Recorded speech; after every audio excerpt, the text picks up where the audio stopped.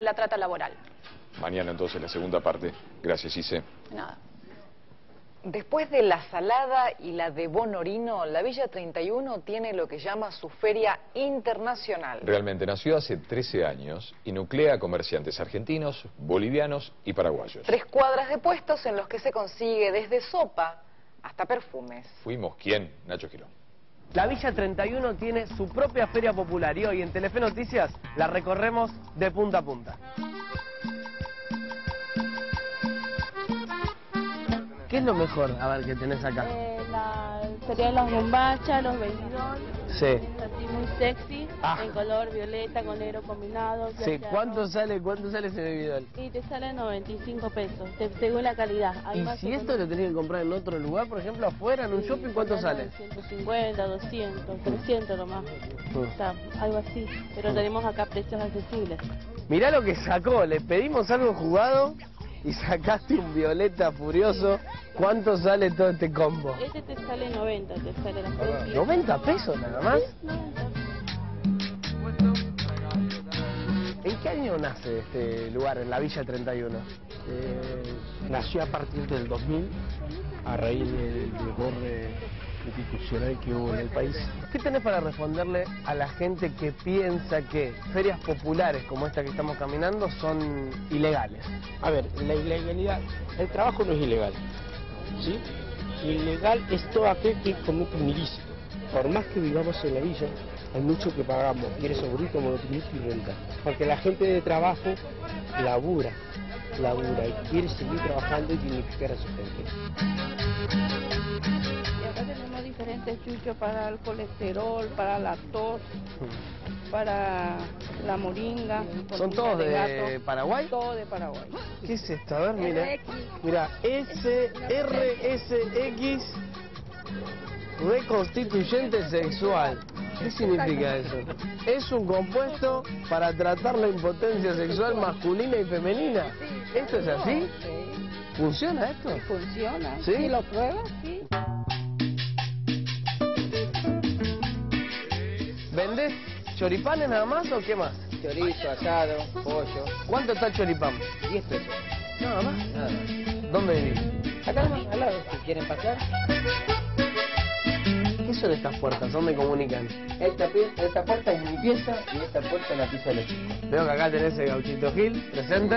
Es el que está siempre al lado mío, Fanático del gauchito. el fanático de ¿Puede ser que la puerta a tu habitación sea la puerta de un baño? De hecho, ahí veo que dice libre. Sí, sí, sí, sí. Este es para cuando está ocupado se pone ocupado. Ah, ¿y está seguido ocupado? Sí, ahí, más, no tanto. Esta es mi moza morada, Tu habitación. la habitación, el búnker de Tyson. ¿Dónde tenés la mercadería para reponer lo que tenés en la parrilla delante de tu casa? Acá, en esta heladera, Sí. sacamos, mirá, Ahí tenés, mirá, distintas... tenemos la milanesa, empanada, Perfecto. los chori, ¿Y esto es para hacer ahora? para hacer ahora. Y tenemos acá para reponer los chorizos. Claro, porque van saliendo todo el tiempo, ¿no? Va saliendo a cada rato, va como, como a full Encontramos nada más y nada menos que a Jorge Altamira, ¿puede ser? ¿Cómo le va? ¿Alguna ofertita se llevó? ¿Ya, ya agarró algo de ropa? Voy a mirarla después detenidamente Ah, porque No lo descarta, no lo descarto porque te cuento. Necesito vaquero, Bien, necesito una camisa de esas bien calentitas. bien, vayan anotando, ¿eh? Ahí está, mirá, mirá, vos que acá son rapidísimos, ¿eh? Acá no les des un segundo, mirá que te sacan todo. No, no, pero esta, esta, esta medio, esta medio- A ver, esta de medio estación. Ah, de media estación, ¿qué, qué, qué quiere? Para- Porque mirá lo que es esto, ¿eh? acá son rapidísimos, ¿eh? No, esta de media estación. Acá, acá viene otro. No, no, yo lo... Mirá, mirá, de- Mientras nosotros estamos hablando, ya lo quieren vestir Altamira, no sé cómo se ve con esa remera. Pero, pero, Cuando yo entré acá, preguntale, lo primero, lo primero que le dije, no, muy belicosa, yo me pongo esto y capaz que las encuestas me disparan arriba. Yo tengo acá la sopa de chairo. Está compuesta por qué? Eh, ponemos bastante verduras. Tiene carne de res. Vamos a probar. Fíjense la pinta que tiene esto. Hay muchas verduras. A ver cómo está. Muy rico. ¿Cuánto sale un plato de sopa chairo, que es esta que tengo en la mano? Eh, este platito sale 15 pesos. 15 pesos. Sí, así bien, le damos bastante. ¿Y con esto me lleno? Sí. Ya está. Este es el plato que se llama sopa de maní. Sopa de maní que tiene papas fritas, todo. Tiene puchero con fideo y bastante verdura. ¿Cuánto sale este plato? 15 pesos sale ese plato. Encontramos con Emerson. Emerson. ¿Qué vendes? Ropa de niñas, toda ropa para niños. Calles, como por ejemplo para, ne- para nenas a 20 pesos. Ahí está. Ahí la tiene un poquito como de corderoy, ¿no? Bueno, claro, porque otro Acá ya llevo 70 pesos y tengo dos prendas. ¿Qué más? ¿Con qué completo los 100 pesos? Jeans, por ejemplo, 30 pesos. Un jean que te vale 60, 70, en otro lado 30 pesos, 100 pesos. Tres prendas, 100 pesos. El día que vos te quedás contento que decís, hoy me voy a casa más o menos hecho, ¿cuánto te llevas de ganancia? 300 pesos, 400 pesos como máximo. ¿Y trabajás cuántas horas acá? Eh, nosotros abrimos de 8 de la mañana hasta las 6 de la tarde. Vos te estás probando acá directamente. Vos te querés llevar una camperita. ¿Esta te gusta? no sé, a ver, ¿dónde está la, la chica? Das una vueltita y te miro, ¿eh? ¿Medio chorro o así nomás? A ver. Pero no, que dé la vueltita completa, ¿no? A ver. La vueltita. Vueltita, ahí va la vueltita, perfecto, medio bailando también. Del 1 al 10, ¿cuánto le pones a esta campera en el cuerpo de él, obviamente, no? A la campera, Sí, a la campera. ¿Y a, y a él? Eh, 850. En este sector se venden ropa y productos usados. Llegamos a un lugar donde hay un par de autos que se utilizan como percheros. En pleno domingo al mediodía y con mucha gente paseando, dejamos entonces este lugar, la feria de la Villa 31.